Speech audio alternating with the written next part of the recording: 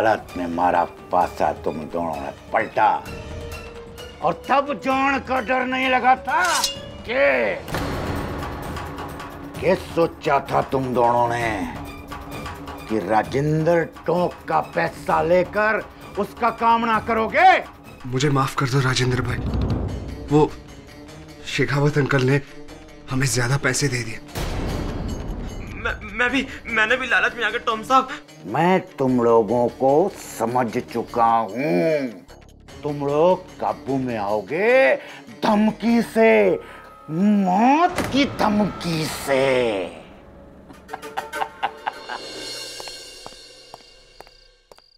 Sir उस जासूस लश्कर सिंह के ऑफ़िस फिर गया था। अभी भी ताला लगा हुआ है। मुझे तो लगता है वो कहीं भाग गया है। लश्कर सिंह का मिलना बहुत आवश्यक है। नहीं तो प्रोसिक्यूटर देसाई पिताजी और मेरे बीच के बैर का फ़ायदा उठाएगा।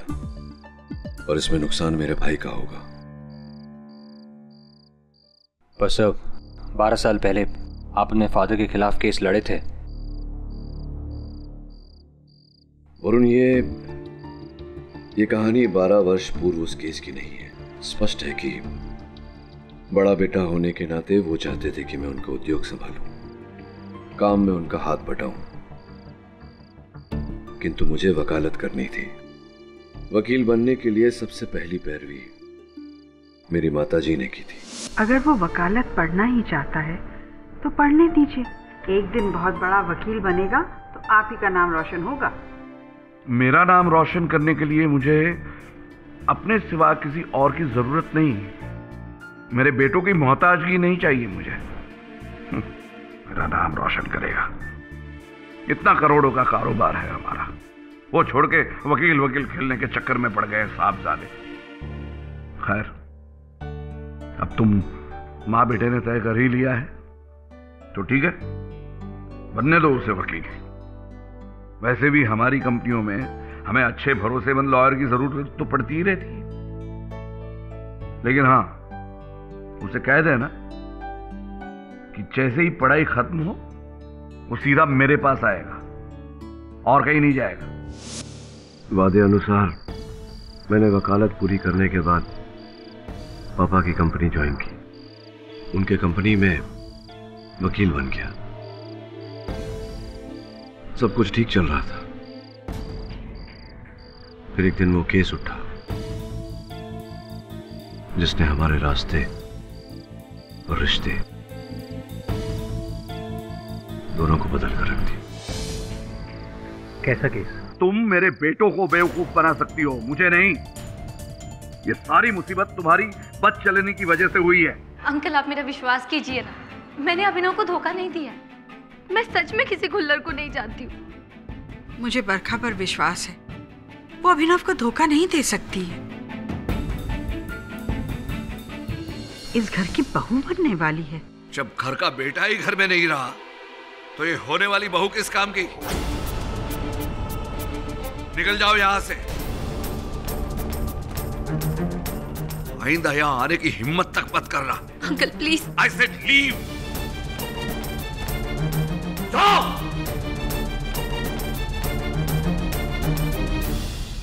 आप इन्हें समझाइए ना। वो मेरा वकील है।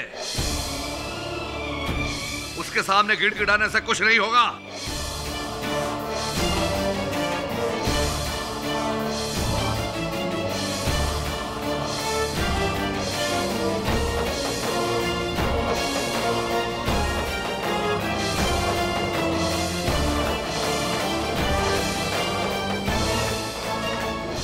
निकल जाओ मेरे घर से।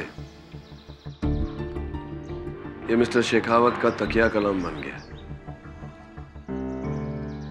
सर आपको क्या लगता है? बरका सच बोल रही है। पता नहीं। सच बोल रही है झूठ इसका पता लगाने का एक ही तरीका है। मिस्टर कुल्लर के बंगले पे जा और वहाँ देख कि बरखा के वहाँ होने की कोई निशानी मिलती है या नहीं। राइट सर के काम से? जी मेरा नाम वरुण है। केडी पाठक असिस्टेंट हूँ मैं। उन्होंने ही मुझे यहाँ भेजा। शेखावत के बेटे? जी हाँ।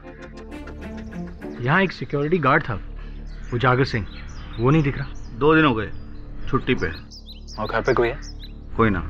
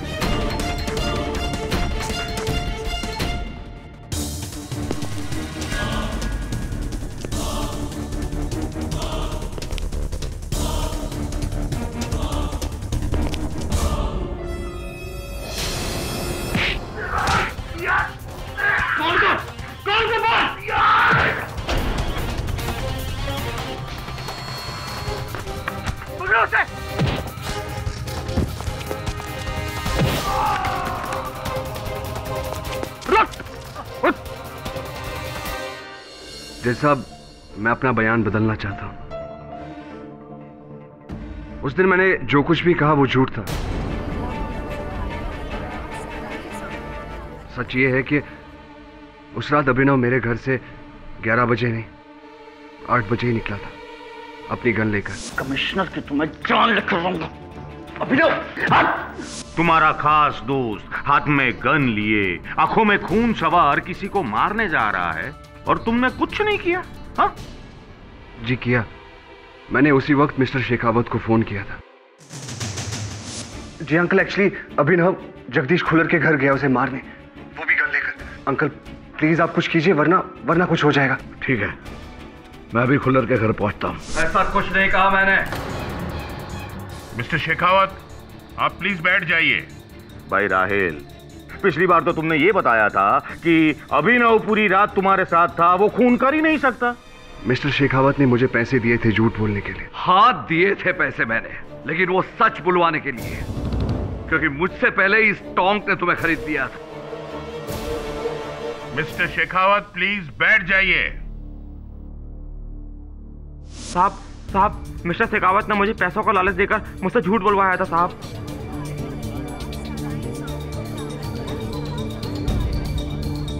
अब मुझे ये बताओ कि क्या हुआ था उस रात को? बताओ। साहब, उस रात मैं गेट पर ड्यूटी में ही था। यही थे जिन्होंने उस दिन घर के अंदर घुसकर मेरे साहब पर गोली मारी। और उस समय साहब, इनके कपड़ों में खून भी लगा हुआ था साहब। और एक बात सर, उस दिन उस दिन बंगले पर एक आदमी और आया था। कौन? वो, mister Shekhawat.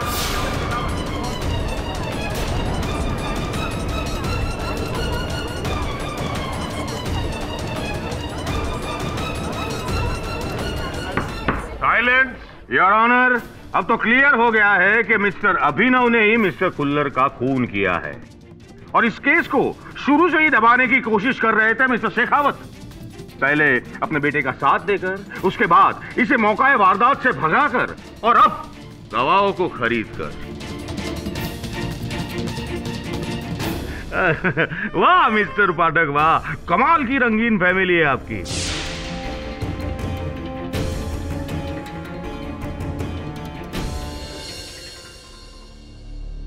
योर ऑनर मैं अदालत में अपना गवाह पेश करने की अनुमति चाहता हूँ। अनुमति है। कृपया अदालत को अपनी पहचान दीजिए। जी जासूस लश्कर सिंह। लश्कर सिंह जी 8 जनवरी को मेरे मुवक्किल श्री अभिनव शेखावत आपके कार्यालय आए थे एक केस को लेकर। आए थे? जी। क्या केस था? ये चाहते थे कि मैं इनकी मंगेतर बरखा जी का पीछा करूँ। इन्हें शक था कि बरखा जी का किसी के साथ चक्कर है। इस बात की खोज की आपने? जी क्या परिणाम निकला आपके खोज का? अभिनव जी का शक सही था। बरखा जी का deputy municipal commissioner mister Khullar के साथ कुछ चल रहा था। Point to be noted your honour Lashkar Singh ji इस केस में आपकी गवाही शुरुआत से अहम रही है। इतने दिन कहाँ लापता हो गए थे आप? जी मैं भाग गया था डर के मारे। किस बात का डर था? आपका दरअसल जिस रात मिस्टर खुल्लर का मर्डर हुआ उस रात मैं उनसे मिलने उनके घर गया था। खुल्लर साहब? खुल्लर साहब?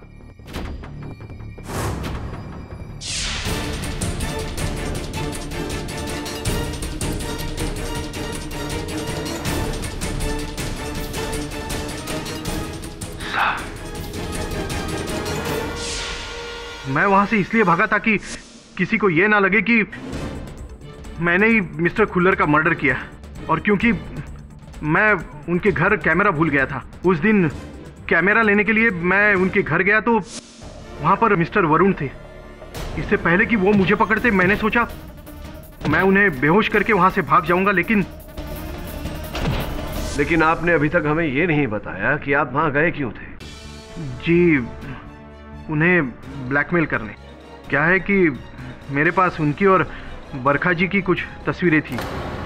अगर वो अभिनव जी से मुझे ज़्यादा पैसे देंगे तो मैं वो सारी तस्वीरें मिटा दूँगा, ताकि किसी को कुछ पता ना चले। हाँ लेकिन जब मिस्टर खुल्लर ने आपकी इस धमकी को मानने से इनकार कर दिया तब आप भड़के आप दोनों के बीच में हाथापाई हुई और आप ही ने उनकी नहीं सर मैंने उन्हें नहीं मारा। कसम से मैं तो बस उन्हें ब्लैकमेल करने वहाँ गया था ऑफ़र देने। और यही ऑफ़र इससे पहले मैंने बरखा जी को भी दिया था।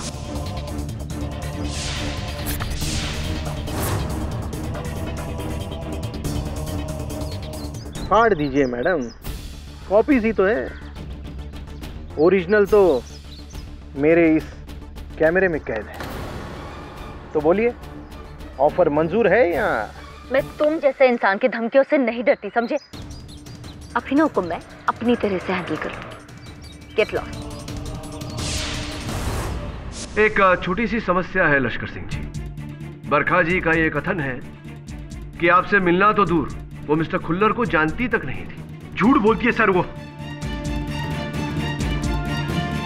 मेरे पास तस्वीरें हैं उनकी और खुल्लर जी की। नहीं तो कहाँ है वो तस्वीर? वो मैंने डर के मारे जला दी ताकि मेरा नाम खुल्लर जी के साथ कनेक्ट ना हो। तो जो ओरिजिनल फोटोग्राफ्स थी वो किसी डिस्क पर थी चिप पर थी कहाँ कहाँ थी? मेरे कैमरे में कैद थी। वही कैमरा जो मैं खुल्लर जी के घर पर भूल आया था। और ढूँढने पर भी आपको नहीं मिला होगा कैमरा। जी जी नहीं। योर ऑनर विचित्र बात यह है कि वो कैमरा पुलिस को भी मौका वारदात से बरामद नहीं हुआ, जिसका अर्थ ये होता है कि कोई व्यक्ति वहाँ उस कैमरा को ढूँढने गया था और उसी व्यक्ति ने वहाँ से उस कैमरा को उछल किया है। जी, मैं जब मिस्टर खुल्लर को जानती ही नहीं तो मैं उनके घर कैमरा लेने कैसे जाऊँगी? नहीं नहीं नहीं नहीं आप आ, आ, जानती थी ना उनको क्योंकि लश्कर सिंह जी के कथन के अनुसार आप आ, थी उन तस्वीरों में जो लश्कर सिंह जी ने खींची थी। और वो कैमरा खुल्लर साहब के घर पर वो भूल आए थे तो आप वो कैमरा लेने गई थी ना वहाँ? जी नहीं। नहीं आप गई थी नहीं। आप नहीं गई थी? नहीं आप कभी खुल्लर साहब के घर नहीं गई? जी नहीं। आयुषो हाँ। तो ये बताइए बरखा जी खुल्लर साहब के घर के कूड़ेदान में से ये टिश्यू बरामद हुआ जिस पर किसी महिला के होठों का रंग लगा हुआ है।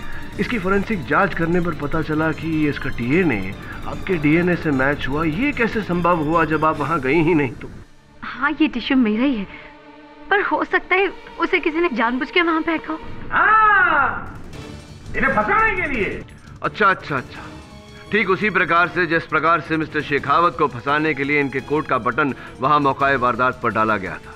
वैसे मिस्टर पाठक आपके पिताजी तो फंस चुके हैं। अब आप बरखा जी को क्यों फंसा रहे हैं? क्योंकि मिस्टर देसाई या तो लश्कर सिंह जी झूठ बोल रहे हैं या बरखा। मैं ये समझ नहीं पा रहा हूँ कि दोनों में से झूठा कौन है। जी मैं सच बोल रही हूँ। मेरा उस खुल्लर से कोई लेना देना नहीं है। हाँ ना कैमरा है ना तस्वीर है फिर साबित कैसे करेंगे हाँ? योर ऑनर कैमरा भी था और चित्र भी है। केवल चित्र नहीं, चलचित्र है यहाँ। लश्कर सिंह ने अपने कथन में कहा था कि उन्होंने बरखा जी और खुल्लर साहब को आमेर रोड के सनशाइन रेस्टोरेंट में 10 जनवरी को दोपहर ढाई बजे देखा। वहाँ के सिक्योरिटी कैमरा की फुटेज अदालत में चलाने की अनुमति चाहता हूँ। अनुमति है।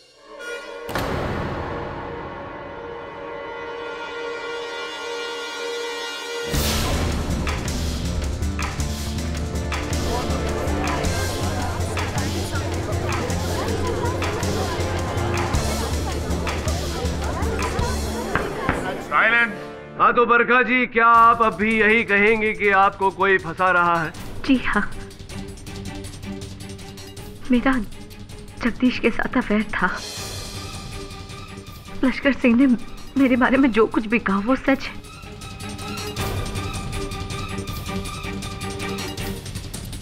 मैं मानती हूँ मैंने अभिनव को धोखा दिया पर मैंने किसी का खून नहीं किया। धोखेबाजी। झूठी है ये। ऐसे मत कहो अभिनव मैं सच में सिर्फ़ तुमसे प्यार करती हूँ। प्लीज़ ये प्यार का ड्रामा बंद कर दो प्लीज़ अब। देखो अभिनव मैं अगर तुमसे प्यार नहीं करती तो शायद वो सारी बातें मैंने पुलिस को अब तक बता दी होती। पर मैं चुप थी ना। सिर्फ़ तुम्हारे और तुम्हारे खानदान की वजह से।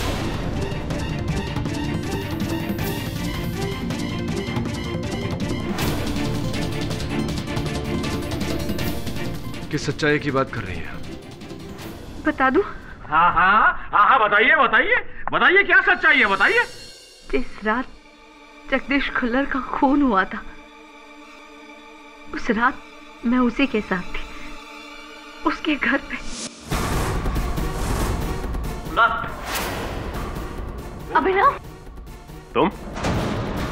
अभिनव? रुको।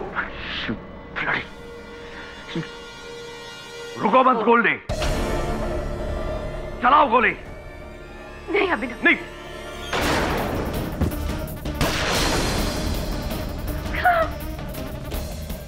जाकर गाड़ी में बैठ जाओ।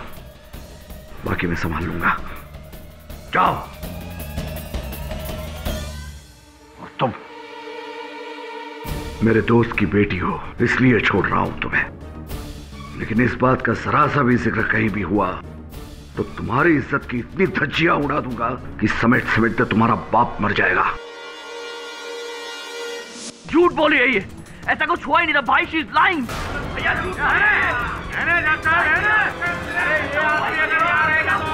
और कितनी दवाइयाँ चाहिए इसके खिलाफ? हिरासत में लीजिए डॉक्टर को। हिरासत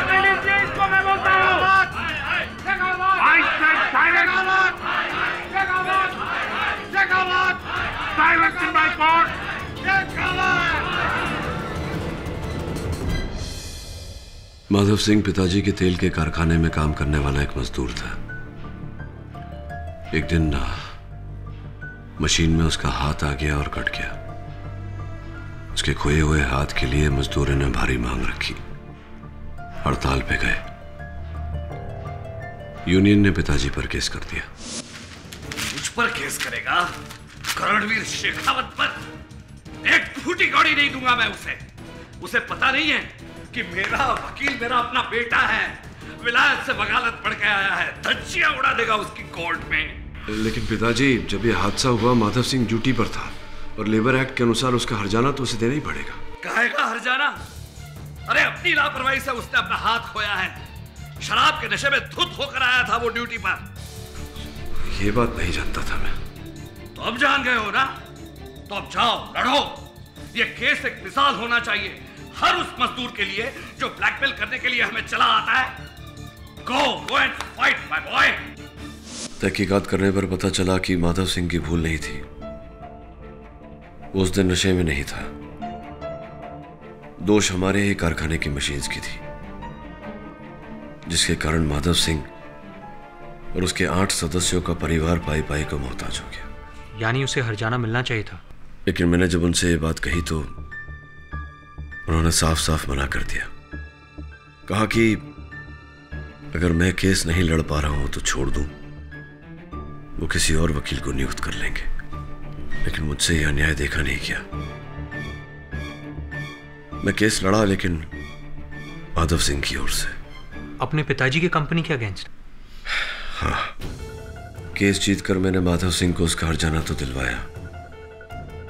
लेकिन वो जीत मेरे जीवन की सबसे बड़ी हार थी। सबसे बड़ी हार तो उस दिन मेरी हुई। उस दिन मैंने अपने बड़े बेटे को खो दिया। और आज अपने छोटे बेटे और पति को खो रही हूँ। ऐसा कुछ नहीं होगा। तू चिंता मत कर। मैं बहुत जल्द अभिनव और पिताजी को घर वापस ले आऊँगा। वादा? वादा। और उनके साथ तू भी घर वापस आएगा। वादा सत्यमेव जयते। सच की हमेशा जीत होती है। यही था ना तुम्हारा नारा। पर शायद पिछले बारह साल से तुम ये नहीं समझ पाए कि दुनिया में सबसे बड़ा सच होता है ना अंतरात्मा, ना भगवान, ना आदर्श। सबसे बड़ा सच है पैसा। और वही आज अदालत में तुमने देखा और सुना। तुम तुम्हारे कायदे कानून के झंडे लहराते रह गए और वो टोक सबकी नज़रों के सामने अपनी दौलत से पूरी अदालत खरीदता चला गया। और तुम कुछ नहीं कर पाए, मिस्टर पाठक। कुछ नहीं। अब तो समझो, पैसे का मोल। कैसा मोल? लाखों करोड़ों लोगों के पास में लाखों करोड़ों रुपए मिल जाएँगे। किंतु सत्य कितने लोगों के अंदर मिलता है? जो वस्तु सत्य से पाई जा सकती है, वो धन से खरीदी नहीं जा सकती। इंसाफ के तराजू से तोला जाए तो सत्य का वज़न धन से कहीं ज़्यादा है। ये केस मैं जीतूँगा। आपके ताकत और दौलत के बलबूते पर नहीं, अपने सत्य के आधार पर। देखेंगे आप। वंस एंड फॉर ऑल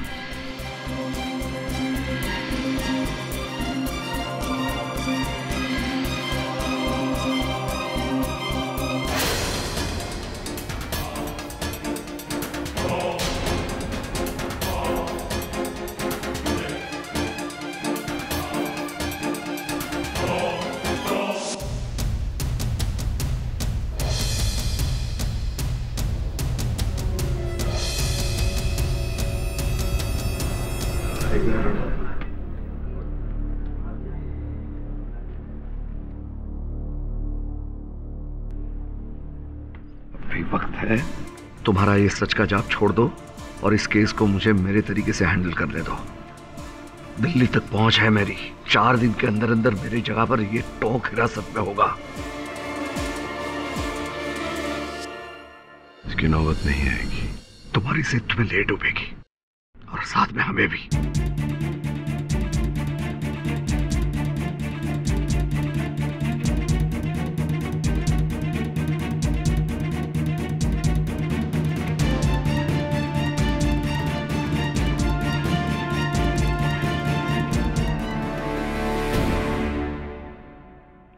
कार्रवाई शुरू की जाए।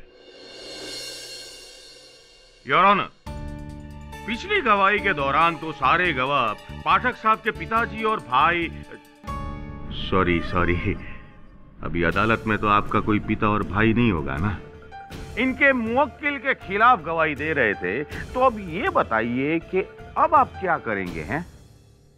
देसाई साहब स्कूल में जब कोई प्रश्न मुझे समझ में नहीं आता था मैं बार बार उस प्रश्न को पढ़ता था जब तक समझ में ना आ जाए और उसके उत्तर तक पहुँचता था। आपने भी यहाँ अदालत में कुछ ऐसे प्रश्न किए हैं जो मेरी समझ में नहीं आए। एक बार फिर उन प्रश्नों को दोहराना चाहूँगा उनके उचित उत्तर तक पहुँचने के लिए। योर ऑनर सर्वप्रथम मैं उजागर सिंह जी को एक बार फिर कटघरे में बुलाने की अनुमति चाहता हूँ। अनुमति है। उजागर सिंह जी आपने कहा था कि अभिनव शेखावत हत्या करके वहाँ से भाग रहे थे। तो आपने इन्हें रोकने का प्रयास किया और इन्होंने आपको धक्का दिया जिसके कारण आपके हाथों में ये चोट लगी। जी। एक बार कृपया अपना बैंडेज खोलकर अपना घाव दिखाएँगे। ऑब्जेक्शन योर ऑनर किसी का घाव कुरेदना कौन सी सही बात है? इसका इस केस से कोई ताल्लुक नहीं है। योर ऑनर मैं घाव खुरेद नहीं रहा केवल देख रहा हूँ। और इसका इस केस से ताल्लुक है। ओवररूल्ड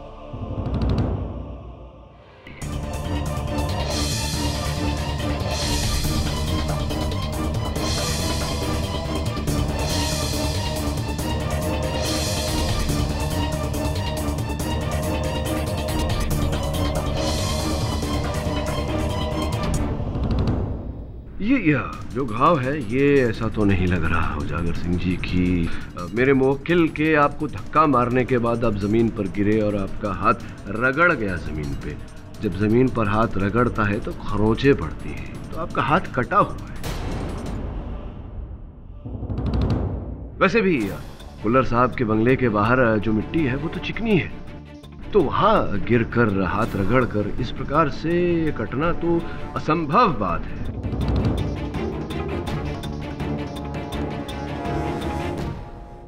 हुआ ये होगा कि प्रथम बार जो आप कह रहे थे अदालत में कि जिस समय कुल्लर साहब की हत्या हुई आप घर चले गए थे खाना खाने। तो आप जब घर गए खाना खाने आप खाने के साथ में प्याज खाना चाहते थे। प्याज काटते वक्त आपका हाथ कटा। ये ये, ये आपसे किसने कहा? आपके पड़ोसी हिम्मत लाल जी ने। वो कह रहे थे कि आप उस रात उनसे दवा और पट्टी मांगने गए थे क्योंकि आपके घर में थी नहीं। इसका अर्थ यही हुआ कि आपका हाथ आपके घर में कटा। तो जिस समय कुल्लर साहब की हत्या हुई आप अपने घर में थे। वो वो झूठ झूठ बोल रहा है। तो क्या आपकी पत्नी रेणुका जी भी झूठ बोल रही है? क्योंकि उनका भी यही कथन है कि जिस समय कुल्लर साहब की हत्या हुई आप ड्यूटी पर नहीं थे आप घर गए थे खाना खाने। क्या? मेरी पत्नी ने आपसे ऐसा कहा? और उन्होंने ये भी बताया हमें कि बहुत ढेर सारे रुपए आपको दिए गए थे झूठी गवाही देने के लिए अदालत में झूठ बोलने के लिए दे गए थे ना भाई। बोलो। पैसे दिए गए थे या नहीं? बार बार कह रही थी पैसा पैसा पैसा। और जब पैसा लाकर दिया मेरी पीठ में ही छुरा मार दिया। समझाया था किसी से कुछ मत कहना अपना मुँह बंद रखना। लेकिन वो औरत मुँह बंद न रख सकी। नहीं नहीं नहीं, नहीं देखिए दोष नहीं देंगे उस बेचारी को। उनका मुँह तो बंद ही था। आपका मुँह खुलवाने के लिए मुझे ये झूठ बोलना पड़ा। खुल गया ना आपका मुँह। चलिए अभी खुले मुँह से बता दीजिए कि किसने रुपए दिए थे आपको झूठ बोलने के लिए? मेरे मोकिल के विरुद्ध झूठी गवाही देकर इन्हें फंसाने के लिए किसने दिए थे रुपए?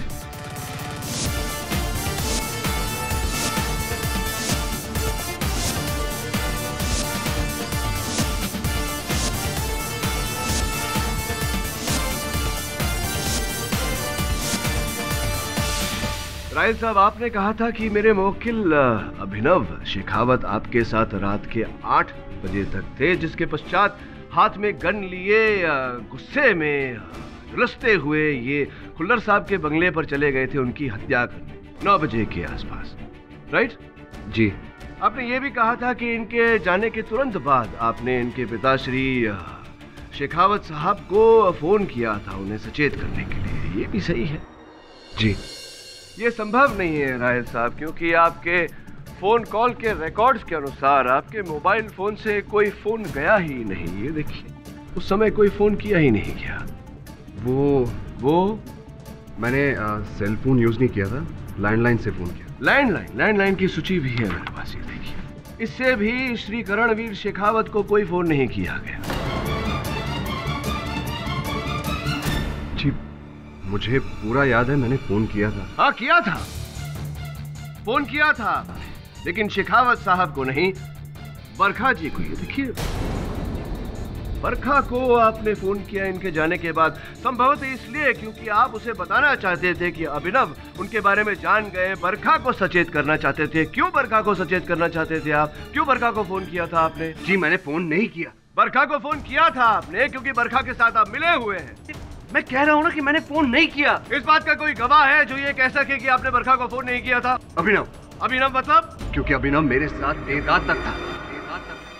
अब चाहे तो उससे पूछ सकते हैं। नहीं नहीं तो पहले आपने क्यों कहा कि ये आठ बजे ही चले गए थे अपनी गन लेकर?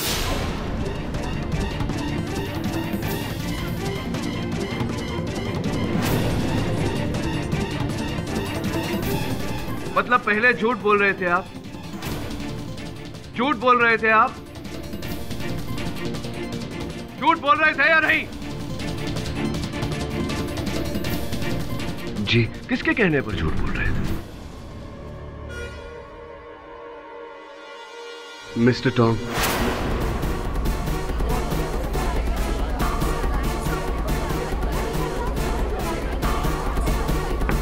साइलेंट। साहब उन्होंने पहले हमें पैसे देकर हमसे झूठ बुलवाया था। कहा था कि आपसे और पुलिस से पहले हम झूठ कहें। हमारे साहब को उसी लड़के ने मारा। अदालत में छोड़ेंगे नहीं उसे। सब सच सच कहेंगे। लेकिन अदालत में आने से पहले मिस्टर शेखावत ने हमें उससे भी ज़्यादा पैसे दिए थे ताकि मैं झूठ न बोलूँ और अदालत में सच कहूँ। उस रात अभिनव मेरे साथ शाम सात बजे से तकरीबन रात ग्यारह बजे तक था और मिस्टर खुलर की मौत नौ बजे हुई। तो ज़ाहिर है अभिनव बेकसूर है। पर इसके बाद टॉमसन ने हमारी इतनी धुलाई की इतनी धुलाई की कि डर के मारे साहब हमने अपना बयान बदल दिया।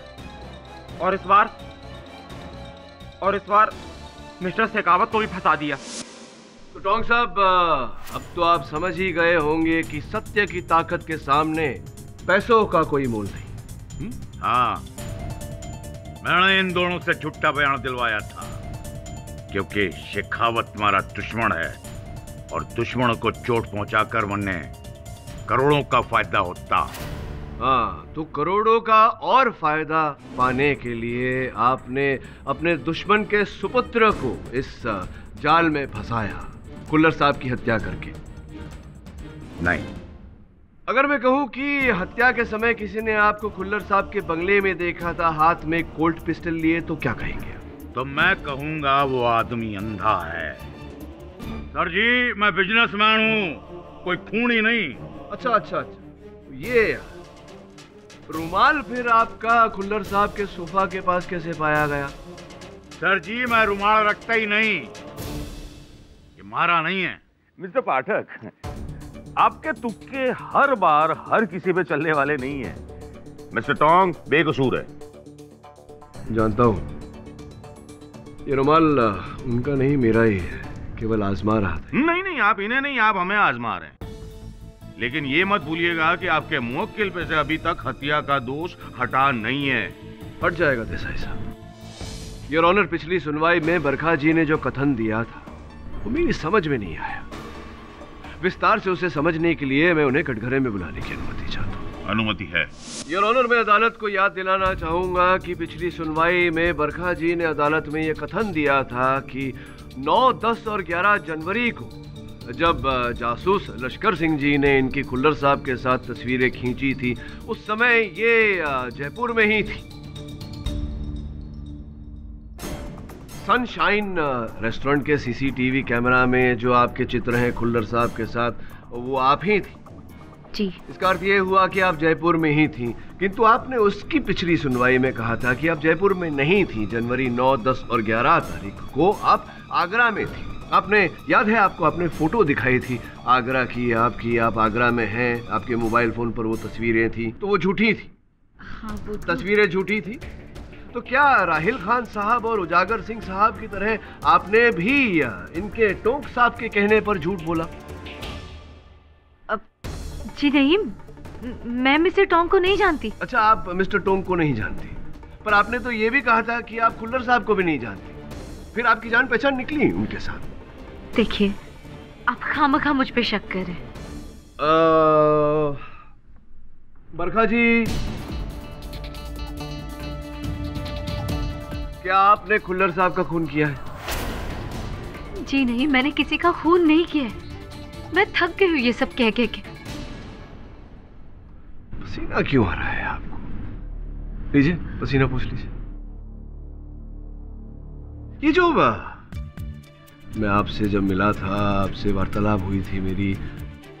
उस समय जब मैंने आपको रुमाल दिया था आपने दाहिने हाथ से लिया था इस बार बाएँ हाथ से लिया। पाठक साहेब छोड़ो ने अबे डाबो जमणो दाया बाया क्या फ़र्क पड़ता है? आ, क्या फ़र्क पड़ता है? लेकिन फ़र्क तो आपकी भाषा में पड़ा है। क्योंकि वही तभी जब वार्तालाप हुई थी हम दोनों के बीच तो आप कुछ ऐसा कह रही थी खून खान खत्म। लेकिन अब आपका उर्दू तलफ़ुज़ जो है वो बिल्कुल साफ़ है। खून खत्म खान। पाठक साहेब पाठक साहब छोड़ो ने હવે क्या साबित क्या करना चाहते हैं आप? हाँ छोड़िए ना। भाषा में क्या रखा है लाइए। असली नाखून है। जी। इससे तो फ़र्क पड़ता है देसाई साहब। क्योंकि तभी जब ये रुमाल मैंने आपको दिया था भाषा आपकी साफ़ नहीं थी तभी आपके नाखून भी एकदम छोटे थे।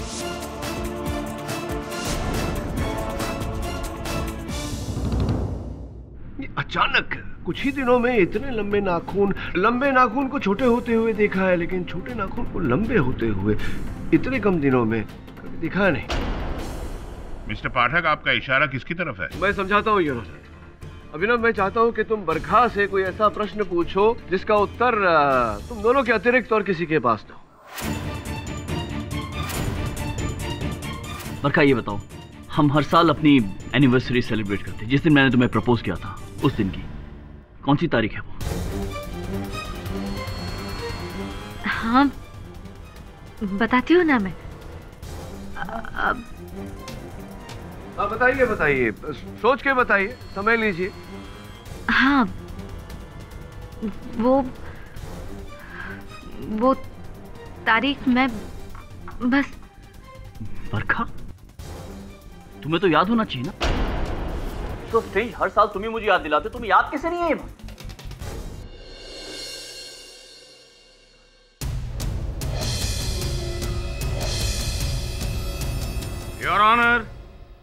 प्रपोजल की डेट मिले ना मिले, लेकिन मिस्टर के डी पाठक को इस केस की अगली तारीख नहीं मिलेगी। क्योंकि ये रहे कत्ल के सबूत। ये ये कॉल्ट 911 पिस्टल और ये टी शर्ट जिस पर खून लगा है, जो मिस्टर अभिनव शेखावत का है।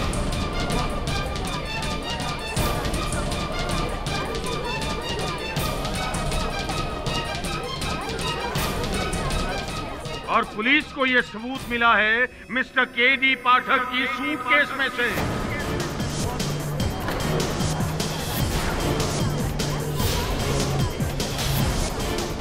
और वो सूटकेस उनको मिला है उनके पिताजी, मिस्टर करणवीर शेखावत के घर से। छोटे भाई ने खून किया। बाप ने सबूत मिटाए। और बड़े भाई ने उस सबूत को छुपाने की कोशिश की। तीनों के तीनों मिले हुए योर ऑनर केस खत्म।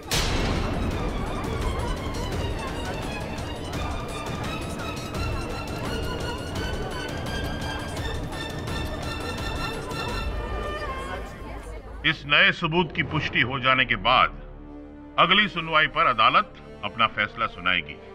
तब तक के लिए यह अदालत मुलतवी की जाती है।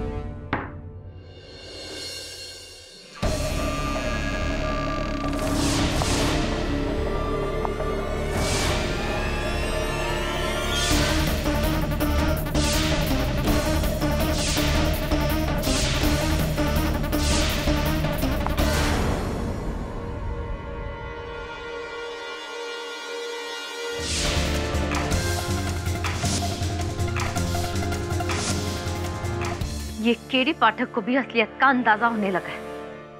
इससे पहले कि वो तुम तक पहुँच जाए, तुम्हें मरना होगा। बरखा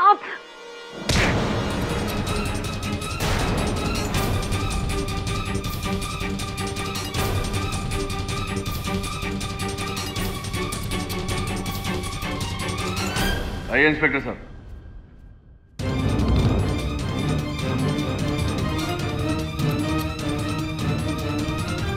चलें, अदालत। जी, मैं बरखा नहीं। मेघा हूँ उसकी जुड़वा बहन बरखा शर्मा वो रही। दरअसल, बचपन में ही मुझे और मेघा को दो अलग अलग परिवारों ने एक ही अनाथ आश्रम से गोद लिया था। हम दोनों एक दूसरे के बारे में बिल्कुल नहीं जानते थे। जगदीश खुल्लर का अफेयर बरखा के साथ नहीं। मेरे साथ। अर्थात अभिनव और जासूस लश्कर सिंह दोनों को धोखा हुआ था। उन्होंने खुल्लर साहब के साथ बरखा को नहीं आपको देखा था। जी हाँ। और जब लश्कर सिंह मुझे ब्लैकमेल करने के लिए वो तस्वीरें लेकर मेरे पास आया तब अनजाने में उससे मुझे पता चला कि मेरी कोई हमशक्ल भी है। फिर अभिनव के शक के बिना पर मैंने उसे फंसाने का प्लान किया। तो ये बताइए कि खुल्लर साहब की हत्या करने के पीछे क्या कारण था? जगदीश कुल्लर के पास मेरे कुछ ऐसे मिमिस थे जिससे वो मुझे ब्लैकमेल कर रहा था। मुझे तो उसे बहुत पहले मार देना था। फिर मैंने सोचा कि उसे ऐसा मारूँगी कि पूरा शक अभिनव पे है। इसीलिए पहले मैं अभिनव के घर गई बरखा बनकर। किसी को शक ही नहीं हो। और फिर मैंने उसके घर से वो गन चुरा ली।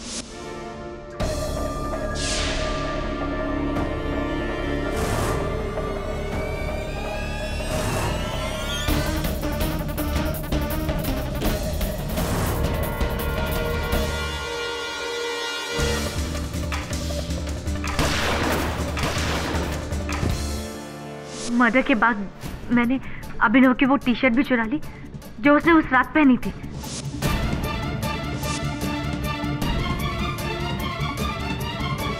उसके बाद उसके ऊपर जगदीश खुल्लर की लाश से लिया हुआ खून भी लगा दिया। सारा काम हो गया था। फिर मैंने गन और टी शर्ट दोनों अपने पास रख लिए, ताकि पुलिस का सारा शक सिर्फ़ अभिनव पे जाए। मैंने सोचा, जब इतना सब कर ही लिया तो क्यों ना बरखा को मारकर मैं उसकी जगह ले लूँ? बरखा बहुत अमीर खानदान से। और यही किया मैंने। उसे किडनैप करके।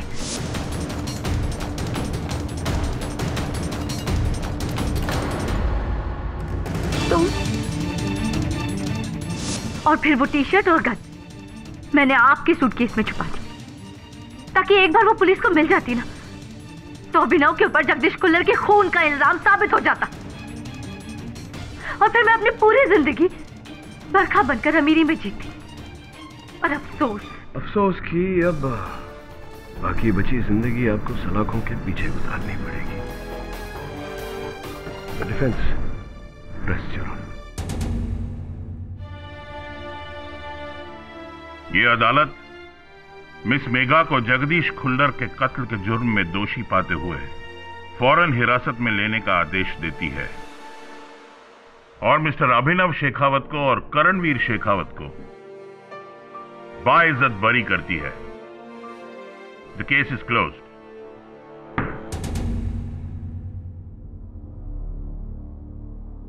भले।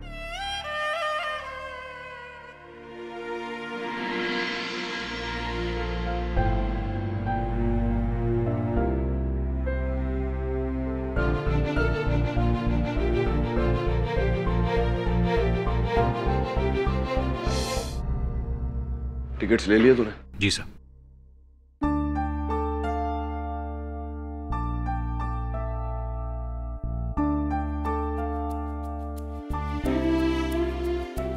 Don't get emotional on me okay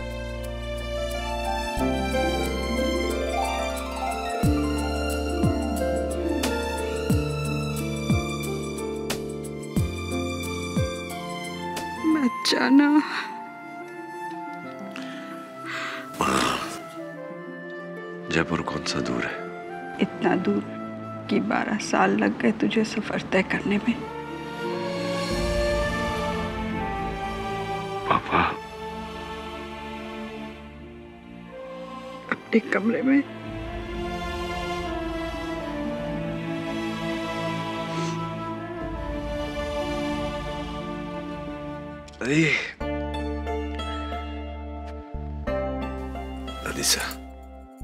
स्वास्थ्य का ध्यान रखना।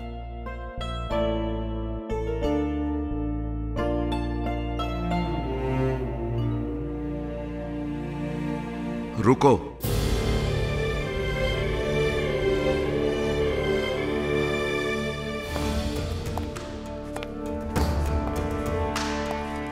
चाहो तो रुक सकते हो।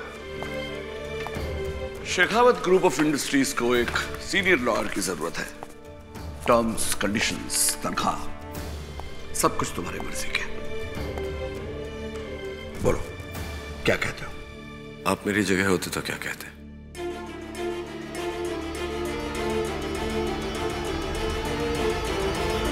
ना कह देता। सिद्धि बहुत है तो। पिता पे गया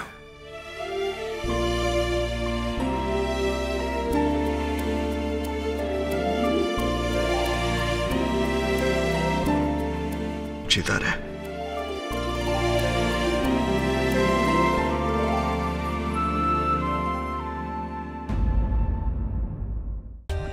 For more updates subscribe to our channel, click the show links and enjoy watching the videos.